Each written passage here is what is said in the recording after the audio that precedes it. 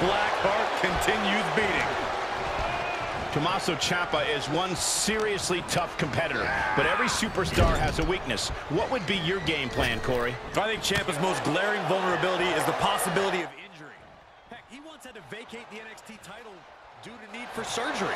I'd say focusing your attacks on Ciampa's limbs could clear a path to victory. Oh, countering with a chop block will halter any attack. Avoiding contact. There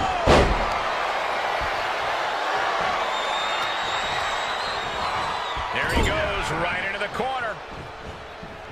Full head of speed. The old running haymaker. Gosh. And Giovanni's resolve might be wavering here. Vinci's not showing any capacity to fight back. Ooh, that'll kill you over. And Vinci turning it around. And Vinci isn't looking helpless anymore. Vinci was being tested and is finally able to get some offense of his own in.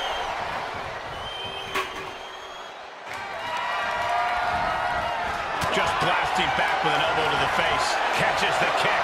These two trading counters, an absolute masterclass. There's some power behind that punch.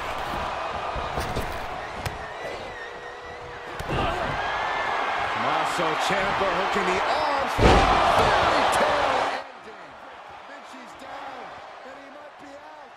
Grim determination on Ciampa's face. Preparing one last. Here comes Ciampa. Double underhook applied. Up. Fairy tale ending. Ciampa was right on target.